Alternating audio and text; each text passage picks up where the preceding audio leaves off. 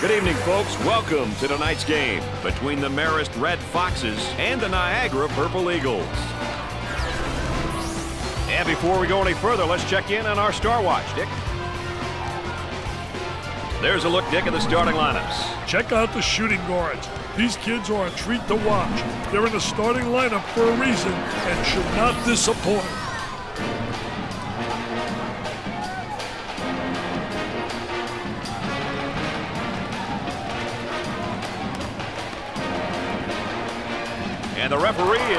Toss it up. Early in the ball game, these two teams trying to set their particular tempo. Trying to get that ball movement, get that good spacing. Puts it on the floor and up and under. And boy, they just jump out of the gate with a score early. They're sending the message, we're focused, baby. And they go into their motion offense, working with four around one here. I love the four around one, especially when you got a big guy who can pass the ball exceptionally well, as well as score. Now you got to give help on him, and it leaves people open on the perimeter, and they better be able to make that open jump shot. Both teams are looking to get something going here. Number 44, pump fakes. He tries the jumper for the bucket. He gets the bucket. That's Matador defense. Nobody coming over, nobody giving any help. I mean, that's how you see better defense on a playground.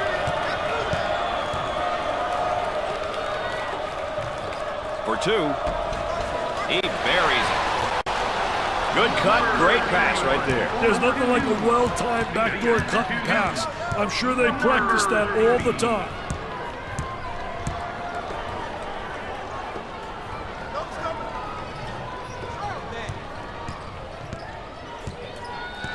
Tempo of the game really important here. You want And a chance to make it a three-point play. Yeah, good second effort to stay with it right there. Did a great job attacking the defense. Hey, a player's senior year is such an emotional one.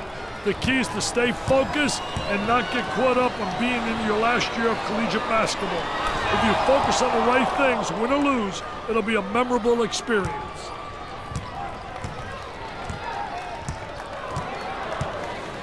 On the elbow, they feed down to the low block. Turnaround jumper. And come up short. The shooting guard takes the feed.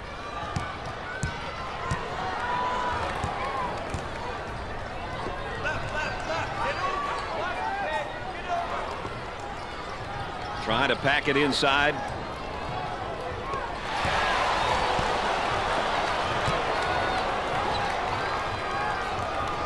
Two minutes left on the game clock. Good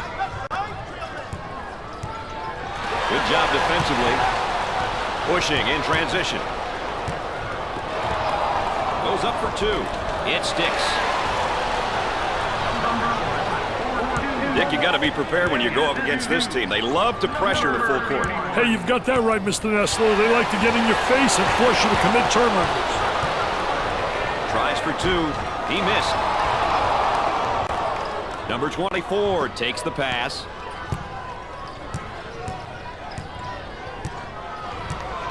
Gave it up for the bucket. He doesn't get the hoop to fall. Off target. The shooting guard gets the pass. On the dribble, gives it up. Blocked. Nice job defensively. Now looking to attack. About a minute remaining. The Purple Eagles can't afford to have him pick up too many more fouls. Well, I don't know if there's such a thing as a good foul, but that might have been one right there, Dick. Hey, Mr. Nessler, I like that type of play. He's saying to the defense, no easy baskets for you. We're going to force you to make shots. Number 41 steps to the line for the first time. This is the first.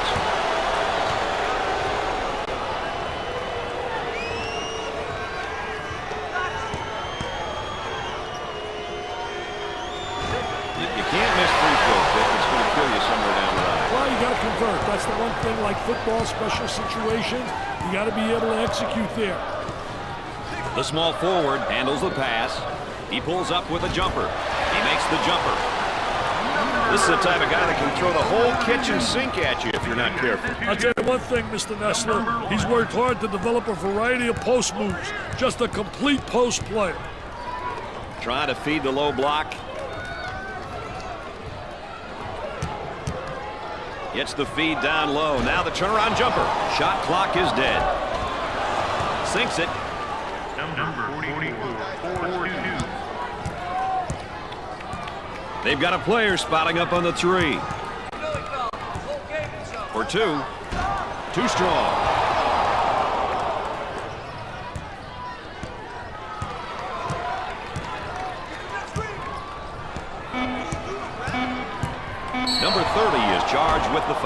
Third team foul.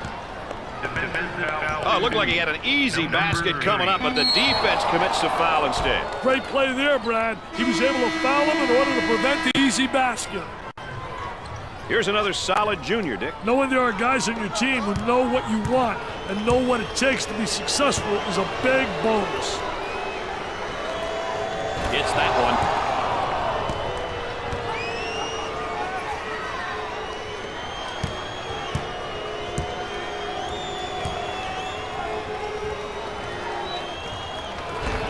Misses the second. And that free throw line has really not been friendly for them tonight, Dick.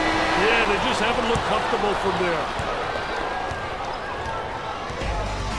At the end of the first half, the Purple Eagles down by four. Niagara had a dismal first half that was filled with missed field goal opportunities, Dick. I'll tell you what, it's going to be the same in the second half if they continue to take bad shots. While we get a moment here, let's take a look at the keys for each of these teams today. I've been really impressed with just how hard both teams are playing. These numbers show you how they've been performing.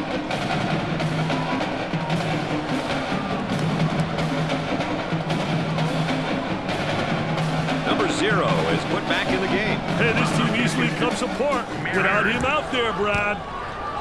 Going with a man-to-man -man full court press now, Dick. Had a momentary look from three-point land. He pump fakes. He shoots the jumper. They get it to go. They've got him right where they want him, Dick. Number 41 gets the pass. Down inside.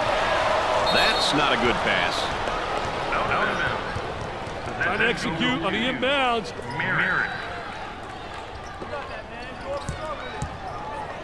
Way out on top. Controlling the ball. Goes up for two. Off the glass and no good.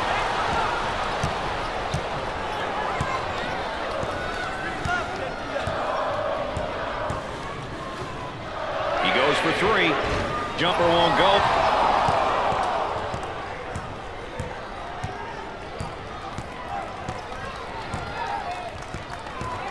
Look at that spacing. Tries for two. Knocks it down. Number 44, 4-2. The assist two. Number 11. The shooting guard handles the pass with the jumper. Jumper didn't look pretty, I can tell you that. That baby was ugly. Might be a ball screen here, Dick. Well, you got to use that screen. Hey, how to dribble use the screen is important in a pick and roll situation. That spin move not successful, Dick. I tell you, great job on the defense not allowing him to make that turn. Both teams are looking to get something going here.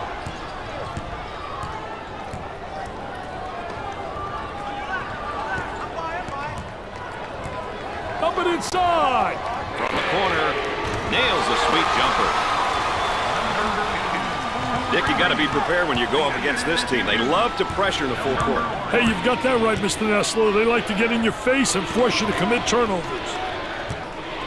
Takes the shot. Nope. He takes the rebound.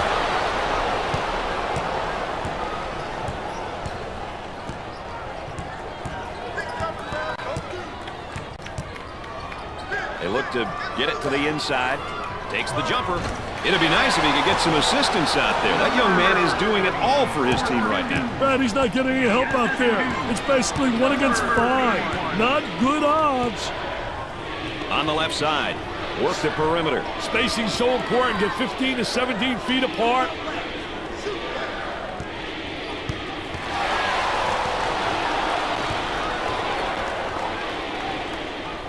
The ending to this one might be headline news in tomorrow's paper. I call these ones knee knockers, Brad. Close games that can easily go down to the final second. Watch your head, young fella. The assist to number 44. Looking for a good shot. Out of bounds, and we're staying right here. Out of bounds. Let's check out this jumper one more time.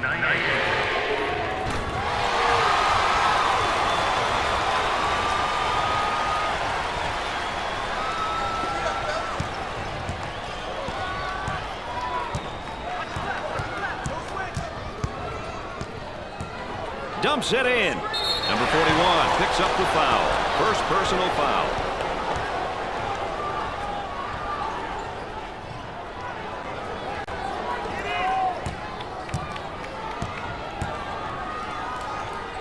He goes to the free throw line. Good.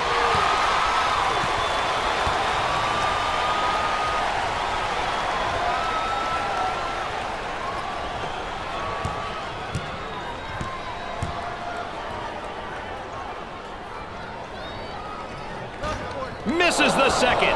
Pushes it up.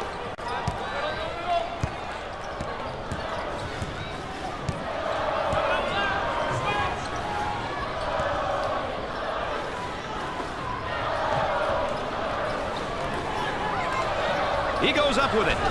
He misses the J. Shot clock is dead. The center takes the pass. Shoots from left of the circle. The missed shot. And they burn a timeout here. We'll have more NCAA coverage coming up in a moment. Timeout on the floor. Erin Andrews, what do you got for us here? Marist. Well, at this point in the game, it's about being on the same page. Each player should know what the objective is for the upcoming possession. Offensively, you must know who the number one option is, while defensively, the type of defense you're going to play or whether to foul. Time is of the essence, Brad. Nick, you were on the sidelines for a long time. What's it like calling the shots over there? Well, the biggest thing is making the call and then sticking with it. You never want to waver on the decision you make. That's definitely a no-no in my books. Even if you make the wrong call, it's better to stick with it.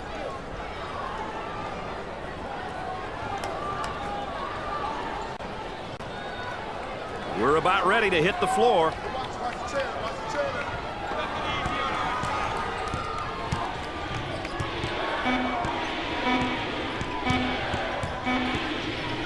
This is the big time. And off the mark.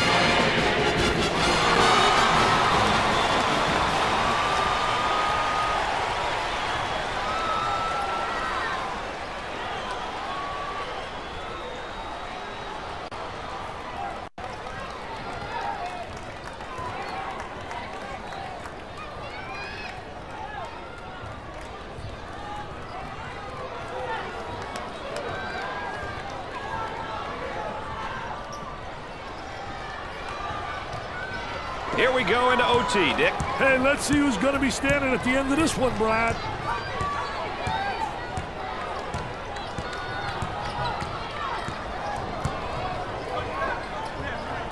Turnaround jumper.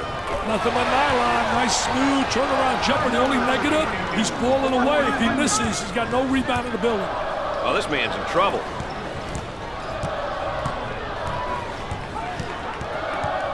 And the strip. Quick hand. Looks like he put the ball right in his hand. Hey, he'll be thinking about that one all night. Nails the J. Dick, you got to be prepared when you go up against this team. They love to pressure the full court. Hey, you've got that right, Mr. Nessler. They like to get in your face and force you to commit turnovers. On the outside. For the bucket. It won't fall.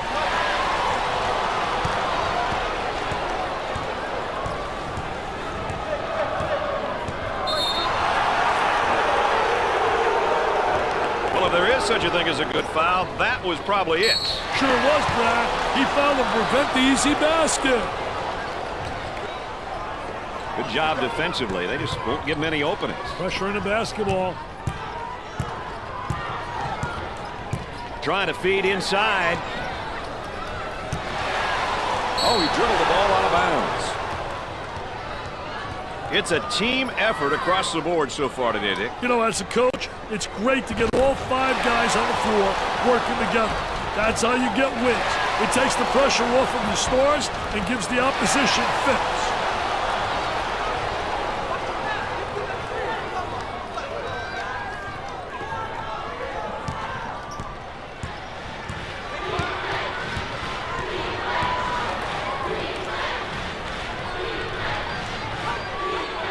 The outside.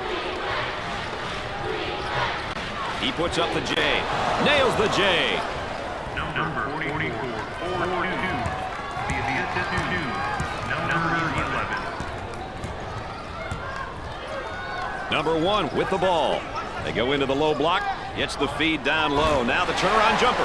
Nothing but nylon. Nice smooth turnaround jumper. The only negative, he's falling away. If he misses, he's got no rebound in the building. They've got him right where they want him, Richard. Pushes it up. About two minutes remaining on the game clock. For two. No good. Number two gets the ball.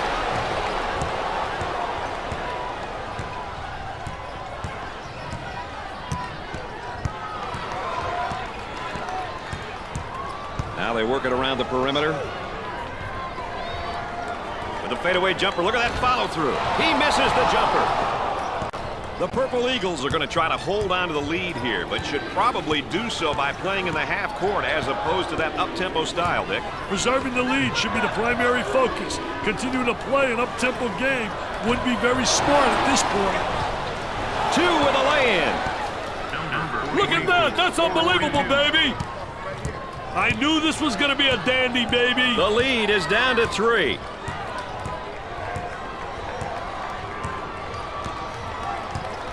Work it around the perimeter. About a minute remaining in the game clock. There may be a pick and roll here, Dick. You've got to love the pick and roll, especially when it's run to perfection, Brad. He misses the J.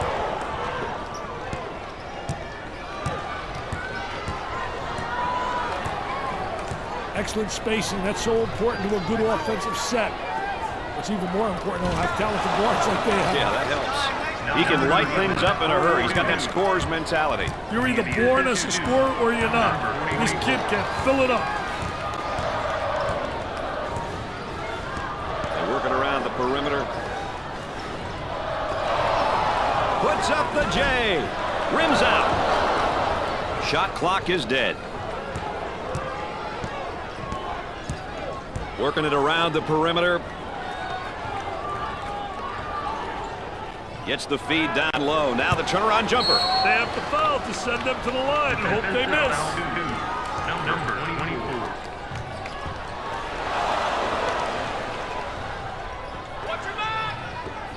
Foul, and that stops the clock again. Now let's check back in now on our Star Watch player.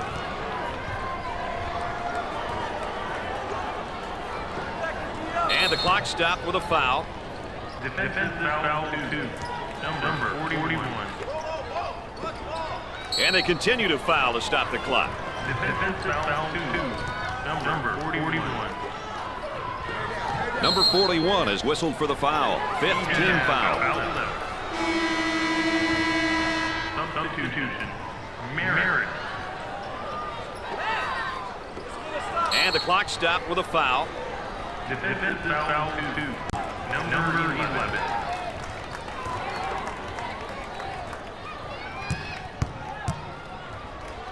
Chance to get an easy one here. Up and in.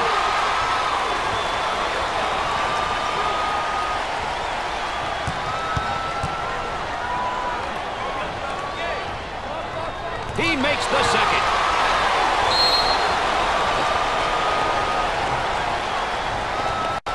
Coach calls a timeout. We'll be back with more in a moment.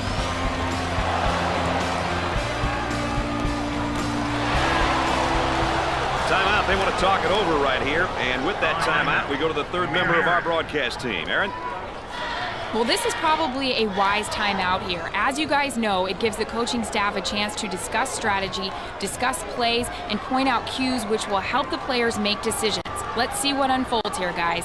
Well, then, they've had a chance to talk it over. What do you think the players are thinking about right now? Hopefully they're thinking what they're going to do to win this game, baby. But seriously, they need to be thinking about their defensive assignments and what their coach wants them to do offensively.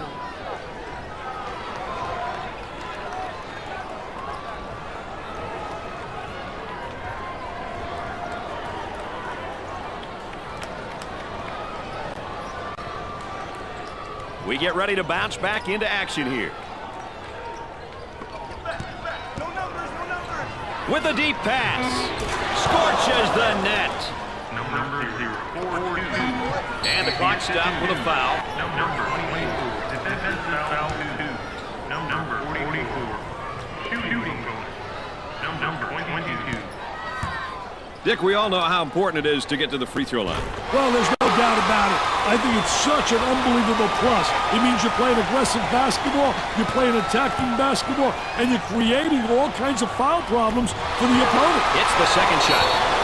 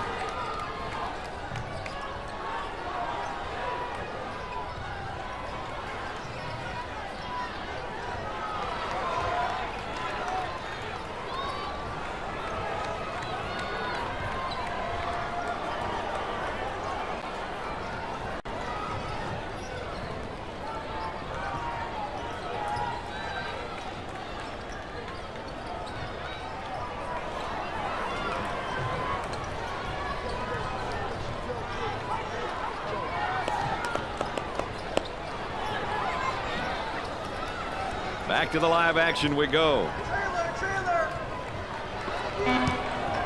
Pushes it. Number 30 is called for the foul. Second team foul. Defense foul two. Number 30.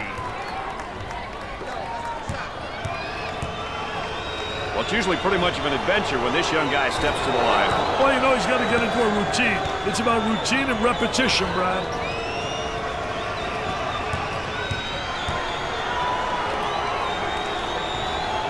It's good.